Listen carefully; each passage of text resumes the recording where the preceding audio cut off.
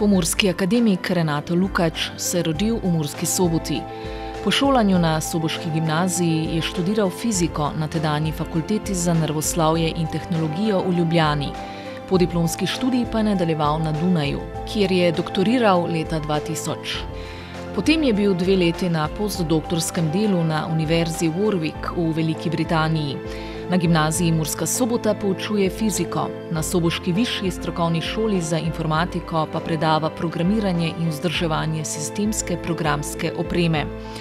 Dejaven je pri uvajanju sodobnih tehnologij v učni proces, astronomiji in raziskovalni dejavnosti. Posebno pozornost namenja osveščanju o varni rabi interneta in delu z nadarjenimi dijaki, s katerimi dosega mnoge uspehe. Pomorskim akademikom, dr. Renatijom Lukačom, se poznava že iz uh, gimnazijskih let in uh, že te je bilo videti, da je to eden tistih fizikov, ker je poznal tudi odlično nucati uh, orodja, kar fiziko najko pomaga in to je seveda računalništvo tak, ki ga je ob svojem osnovnem fizikalnem uh, poklici pa raziskava je pot zanesla tudi na področje informatike, ge je eden tistih, ki je v pomorji sigdar oral ledino. Uh, je bil sigdar prvi, ker je upozarjal na koristi informatike, računalništva in seveda tudi na kam moramo biti pozorni. Ne smemo pozabiti, da je tudi prvi v pomorji in tudi širše opozarjajo na varnost, varnost mladostnikov, eh, kam starši ne smemo eh, deci prepovedovati, kakorkoli pač lejko do spleta pridejo ali ki jih navčite, kam morajo paziti na spleti, kaj se jim ne zgodi, kaj je takšnega, kaj bi ne bilo dobro za njih. No, gnjez pa da nam povedal nekaj o umetni inteligenci, o umetni inteligenci v šolstvu. Eh, ali umetno inteligenco v šolstvu dovoliti ali ne, je isto vprašanje, kot je bilo pred 30-40 let, ali v šoli dovoliti kalkulatore ali ne. Vsi vidimo, kaj ja.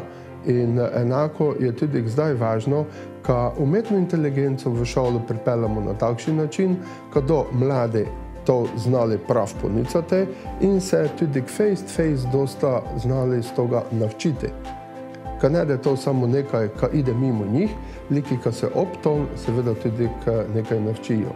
In za voljo tega znam, kar se splača. Skupaj pogledamo te predavanje pomorskega akademika, dr. Renatoja Lukača in si v Kuper mu se dosta navčili.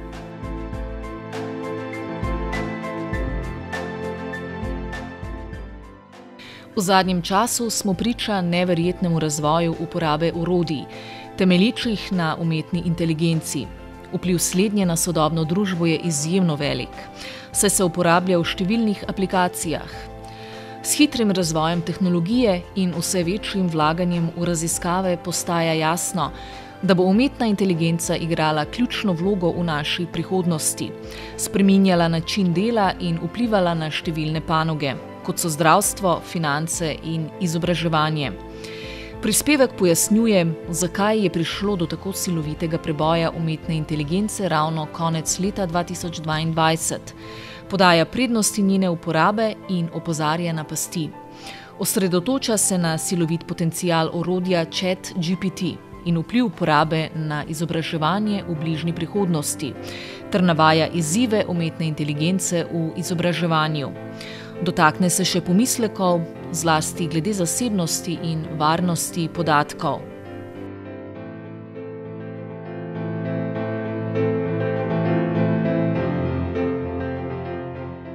Tri dejstva. Chat GPT je generativni jezikovni model, ki temelji na nevronskih mrežah in veliki količini podatkov. Zasnovanje za odgovarjanje v naravnem jeziku na podlagi vhodnih vprašanj in dejstev. Zelo poenostavljeno to pomeni, da se stavlja odgovor na način, da pogleda statistične podatke med besedami in se odloči za naslednjo besedo v odzivu. Modeli GPT in podobni modeli ne razumejo besedila kot ljudje in nimajo sposobnosti pravega razumevanja, zato nujno potrebujejo ogromno količino podatkov, na podlagi katere se trenirajo za statistične vzorce, ki so potem temelj za smiselni odziv. Večina uporabnikov chat GPT je mlajših. 62,5 odstotka je starih med 18 in 34 let. Prav tolikšen odstotek je moškega spola. Več kot polovica ljudi ne zna oceniti, ali je besedilo generiral chat GPT.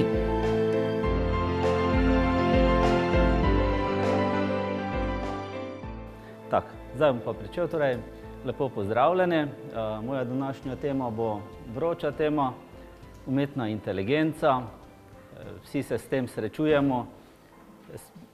Izzivi so veliki tudi v šolstvu in jaz vam bom malo predstavil neke osnove o tem, da boste bolje morda razumeli zadaj koncept, pa zakaj je do tega preboja ravno zdaj prišlo. Potem pa se bomo malo dotaknili tudi tega paradnega konja chat GPT in tudi tega, kaj se v šolstvu obeta glede tega. Zdaj, če tako malo pogledamo nazaj, vsi ste zdaj nekako ta boom doživeli verjetno. Jaz sem se z umetno inteligenco srečal že precej davno, pri študiju sem spoštoval profesorja Bratkoja, slišal sem, da na fakulteti za FRI, fakulteti za računalništvo informatiko v Ljubljani predava eminenten predavatelj, programski jezik Prolog. In potem, ko sem pozneje študiral na Dunaju in delal tudi v Angliji, sem zelo ponosen bil vedno, ko sem na, na policah knjižnic in knjigarn zagledal prolog, prevod v nemščino ali angleščino, o, to je pa slovenec, to je pa naš um, avtor. Uh, pa tudi v uh,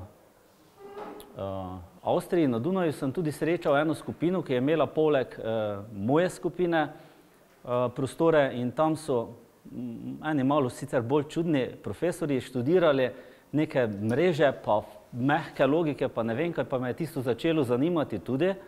Samo potem sem videl, da nekaj manjka, neka uporabna vrednost, ne da se s tem narediti nekaj koristnega, pa sem enostavno opustil te zadeve.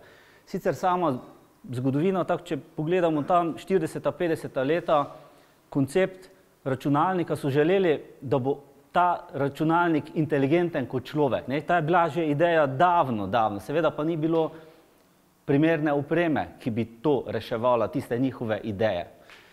Pozneje beseda kot taka zveza, umetna inteligenca se pa prvič pojavlja leta 1956 kot taka.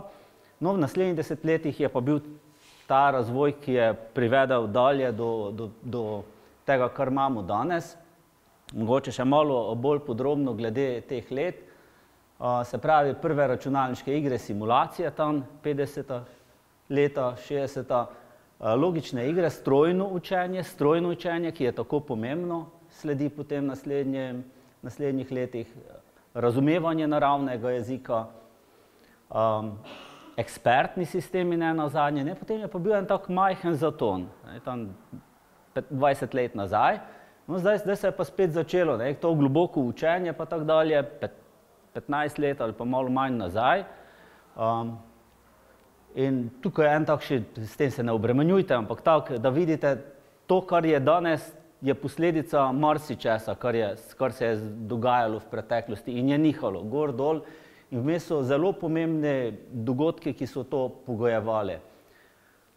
Uh, če pa tako malo oddaleč pogledamo, um, pa so taki preboji, ki so zdaj bili v preteklosti, tukaj vidimo, ne, se pravi, Ehm, ta zadnji dogodek, katerega, dobro, z otroštva, mi se ne spomnimo, mogoče kateri od vas, se pravi informacijska tehnologija, morda bi tukaj lahko dodali, dosti krat primerjajo tudi internet, se pravi, ta, se dejansko je tukaj prišlo do interneta, ne, če točno pogledamo nazaj, ampak večina je internet doživela, kaj, 20, 25 let pozneje ali pa celo 30. Ehm, ampak tu se je dogajalo nekaj, kar je dobesedno uh, pretreslo industrijo, pa raziskovalni svet in vse to. Ne. Zdaj, zgleda, vsi, vsi ti kazalniki, ki se tako močno živahno gibljajo navzgor, uh, kažejo, da je spet nekaj revolucionarnega prišlo. Ne. Pa tukaj, če se tako spomnim, lepega primera so se boja, bali so se recimo pri preglednicah, ko so prišle preglednice računovodje, zdaj več ne bomo rabili računovodje, ki so prej to po papirju seštevali pa tako. Ma, še, nič, nič, samo bolj efektivni so postali, še več jih dela pa tako dalje. Ne? Ni se treba bati zdaj spet te, recimo, če to imenujemo revolucija. Ne, ni se treba tega bati. Bo, bojo novi poklici, se bojo pač morali prekvalificirati in bojo bolj efektivni. Zakaj je zadaj? Par pogojev je, da je do tega prišlo. Zmogljiva oprema, zmogljiva oprema. Vi rabite imeti super računalnike, ki bojo sposobni ogromno, ogromno v kratkem času narediti. To imamo vse čas, ta razvoj, ki je siloviti, vse čas se stopnjuje ta računalniška moč. Zdaj je ta oprema zelo, zelo zmogljiva, dovolj zmogljiva, da naredi to, kar je potem eh, v bistvu ta na, dva slajda naprej. No, pa če se, če se malo še nazaj na tega eh, ozremo, eh, ljudje, raziskovalci, razvijalci, ki to vrstne algoritme uh, ustvarjajo, so zelo dragi. Ne, tu imate tako eno primerjavo teh inženirskih uh, poklicev, plače pa vidite, vse ni treba se točno številka, ampak tako vidite, to, to so najbolje plačani specialisti. In teh je malo, tudi tako dobrih, vsaj vsaki bi rad zaslužil dosti, ne, ampak enostavno jih ni, ne, to je dragi kader. Potem pa to, kar smo več čas govorili, ne, če se spomnite, tam deset let nazaj, sem, pa še več, sem vedno govoril podatki, podatki, podatki, podatki. Spomnite se, to je nova nafta. Ne. Tudi če gledamo najbogatejše firme, najbogatejši te biznismeni pa tako dalje, to so ljudje, ki upravljajo s podatki, ne več tisti, ki ima ne vem, najboljšo vrtino ali največjo firmo ali kaj, ne. Podatki. Podatki so pa naši, to se mi razgalimo vsaj od kje so dobili? Od nas. Ne? Vedno, ko mi kliknemo, se strinjam s tem pogojem, se strinjam, se strinjam, se strinjam, da bojo vse moje podatke, ne vem kam, in to se potem prodaja, to se tudi krade, pa se na črnem trgu prodaja. Ne, se spomnite, naš profil je vreden kaj kot 2-3 cente na, na črnem trgu, tako poceni smo. In ko imate vi to ogromno količino podatkov, potem komaj vi lahko delate umetno inteligenco. Ne, to so, tak, zdaj, če samo pogledamo, morate imeti ogromno mašinerijo, zelo močne računalnike. Morate imeti nekoga, ki bo te algoritme vse skupaj spisal, pa morate imeti ogromno podatkov. Zato se to ni dalo v preteklosti. Vse so bile, ne, ne mislite, da ni bilo umetne, seveda je bila, ampak ni bila tako udarna kot to, kar smo zdaj doživeli s chat GPT-jem, ki se z nami pogovarja. Ne, je, do tega preboja je moralo priti ob izpolnitvi določen, ne, eh, do te, ti pogoji so morali biti izpolnjeni, da, da smo prišli do sem, kje smo zdaj. Zdaj, kaj ta umetna inteligenca prinaša, to sem pa chat GPT-ja uh, mantro, malo sem z njega ven stiskaval, kaj bi ti povedal pa tak dalje, pa potem sem ga malo pre, prefiltriral pa sem tukaj navedel te zadeve, pa ne bomo to zdaj brali.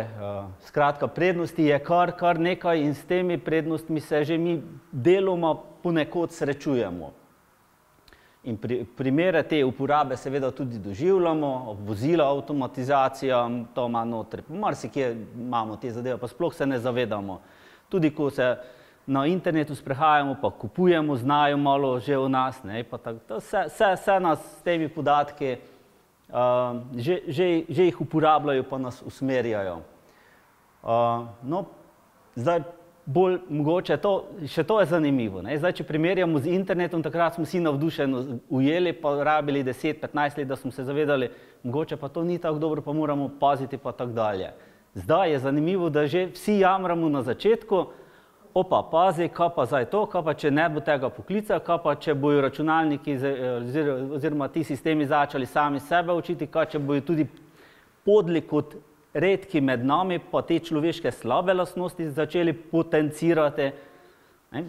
Tako da razlika je zdaj napram tistemu kar velika. No, najbolj razpiti je ta GPT, generativni transformer, to je model, ki generira besedilo, uporablja podatke, podatke in rabi neke nevronske mreže zadaj. Um, zdaj, tukaj je nekaj takih faktov. Uh, Ven je chat GPT, pa ste eno je G, uh, samo GPT, GPT sistem, eno je pa ta chat GPT, ki z nami komunicira. Ta je prišel uh, zdaj pred enim letom, vem, pa potem je rekordi, pa tako dalje, tu so neki fakti. Um, zanimivo je to, mogoče, kdo so lastniki. Ne, da še zdaj, danes zjutraj sem se trudil najti lastnike. Edini podatek, ki ga ta količka najdem, ki lahko povemo, je 49 odstotkov komercialnega dela je Microsoftu. Ne. Zato Microsoft zdaj prek Binga pa tako dalje pritiska, uh, pa želi konkurenco. Zdaj, kaj dela Google z ogromnimi podatki, ki jih nedvomno ima, kaj dela Facebook, vsak dela nekaj svojega. Ne. Sam ne vemo, ni, noben še ni preveč prišel uh, ven. Ne. Sam uh, Eh, ta ustanova, ki je pa zatem zadaj, je pa OpenAI, ti so pa tam leta 15 začeli svojo dejavnostjo. GPT je pa imel, vidite, nekaj kar takih prelomnih verzij, zdaj je ta plačljiva štirka, uh, jaz delam s 3,5, ki je brezplačna. Pogoj pa je bil, vidite, noter to, da so ga filali. Rabo je podatke, podatke, podatke, podatke, kaj je črpal z različnih teh portalov, Eh, je dobival noter, pa se napajal, več je imel podatkov, bolj, bolj je bil um, uspešen pri svojem delu. Ne? In to je usupljivi podatek. Pet dni so rabili za en milijon uporabnikov. To ti Pornhubu ni uspelo, ki je tako eh, revolucijo naredil, pa navadno ga tukaj ne dajo noter, seveda. Ampak tako, gledajte, kaj lahko naredi ena tehnologija nova, ki je v pravem trenutku lansirana. To je pa promet do spletne strani, tu pa zdaj vidimo, da malo ta euforija že pada, ni, ni več tako. So pa dostopi do njihovih podatkov ne preko spletne strani, preko enih vmesnikov, uh, ki, jih, uh, ki jih eh, poslovni svet uporablja predvsem. Uh, še nekaj podatkov um, o tem, kakšen spol, pa tako dalje, ker je mladi, starejše, primerjava z 2, 3, 3, 4 tudi razpoznava slike, 4 dela s spletom, aktualnimi vsebinami, zna tudi čisto mimo udariti, oba halucinirata, štirka manj. In tukaj je nekaj alternativ temu, torej da ne te mislili, da je chat GPT vse, kar je. Ne, tu imate en kup zadev. Jaz recimo sem zanč testiral en um, dodatek v Chrome, Harpa, pa imate prispevek v, ne vem, v nemščini, pa povejte, daj mi povzetek tega v slovenščini. Fajn vam iz lušče, iz PDF-a. Zelo prijetna zadeva. Pa to imate še neka urodja. Tak. Zdaj malo še mogoče v izobraževanju. V izobraževanju imamo cel kup zadev na razpolago, pa to zdaj tudi ne, ni pojem, da se preveč vtikate, samo da znate, da obstaja to, vendar imamo velike pomisleke glede tega, saj veste, borimo se proti uh, švinglanju po domače. To je minutka. Dobro. Uh, pomisleki so pa tudi drugi. Ne? Dobro, imamo tudi zdaj že urodja, ki to skužijo po domače, ne? da je bilo nekaj uh, od tam vem počrpano. Uh, jaz, kaj vidim, nevarnost je predvsem, da tisti, šibki, ki so bolj, najbolj potrebni znanja, začnejo to uporabljati, pa ne bojo napredovali znanjem. To, to je tista nevarnost. Uh, Face po domače, zelo dobri si težko pomagajo, ker so že dobri. Ne, tisti najbolj šibki, ki bi pa morali se najbolj učiti, tisti pa obtičijo potem. Ne. Še so seveda pomisleki, varnost, kam damo, zdaj, če želim, da je nekaj meni eh, prikrojeno, potem je problem, da se jaz moram razgaliti, če želim, da je meni prikrojeno, pa tako dalje. Etika, etika se dosti krat tudi v šolstvu zdaj omenja, etična vprašanja, tisto, kar smo imeli eh, dosti krat tukaj diskusijo. Dostopnost, enakost, nimajo vsi enake opreme, pa tako dalje, pa možnosti, nekdo si lahko štirko privošči, nekdo ne. ne. Regulative, na tem se dosti dela, pa pri mladih zelo poudarjamo odvisnost od tehnologije to, kar smo naredili s COVID-om, da smo jih pahnili gor, potem jih stran vlečemo, zdaj je ta revolucija prišla in so čisto zmedeni, kaj, kaj naj delajo. In kritično razmišljanje, ne, to, to, kar bi ravno mladi morali nekako najbolj doživeti, um, to nas skrbi, da mogoče pretirana uporaba tovrstnih tehnologij ne bo njim omogočila. To, to so neki pomisleki. Ostalo pa bo sledilo eh, naslednje leto. Sem pripričan, da bo spet pred nami burno leto. Hvala lepa za pozornost.